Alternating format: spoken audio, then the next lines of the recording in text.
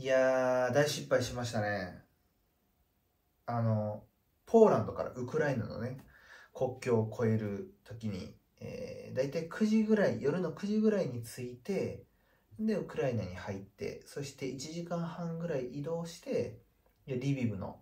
あの宿に泊まろうと思ってたんですけれども、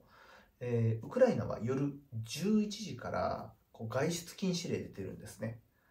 で、えーだからまあ9時から1時間半だと、まあ、10時半ぐらいにはあの宿には着ける予定だったんですけど僕ほんと根本的なこと忘れてたんですね。ポーランドとウクライナ1時間時差があります。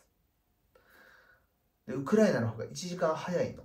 だからポーランドで9時にボーダーに夜の9時にボーダー着いたとしてもウクライナは夜10時なんですよ。だからそこから30分ぐらいかけて入れたとしてもウクライナも夜10時半。30分ぐらいでも外出禁止令って言ったらリビブに間に合わないってことになって今日ちょっとウクライナ入りできたとしても宿まで着かないからじゃあもうポーランド側に泊まっちゃった方がいいよってウクライナの、まあ、友人にね、えーまあこうアドバイスされてじゃあもだったらそうしようと思って今日は